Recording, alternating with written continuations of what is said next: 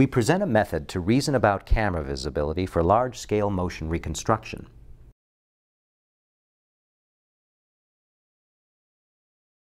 As input to our method, we use a large number of videos taken at the Panoptic studio at CMU using 480 cameras. Our system can reconstruct up to 100,000 points without markers and track them over hundreds of frames. No temporal smoothing or spatial regularization is used. In our method, we track a parallelogram patch centered on a target 3D point. Here's a detailed view of some target points.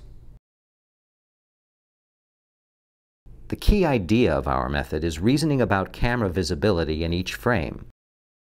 Consider a dynamic scene where three people are rotating around a person shown in this video. Given each target point, we find the maximum a posteriori estimate of its time-varying visibility. In this video, the blue pyramids denote the cameras where the target is visible. You can see that the occluded cameras are seen as a shadow on the visibility set of cameras. We evaluate our algorithm on a variety of challenging scenes. The volleyball sequence,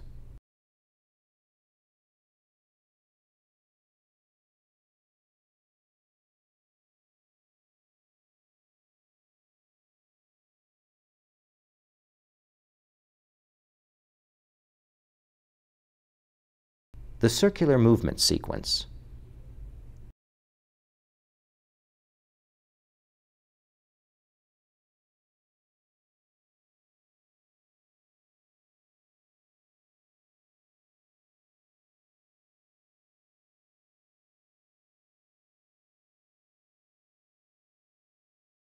The falling boxes sequence.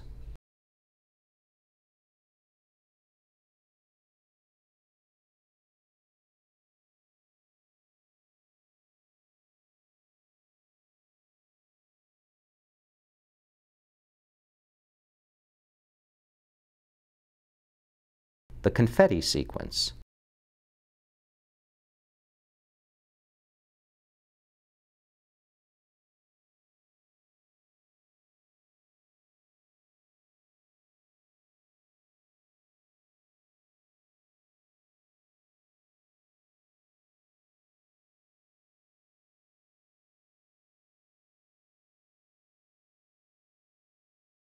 the fluid motion sequence.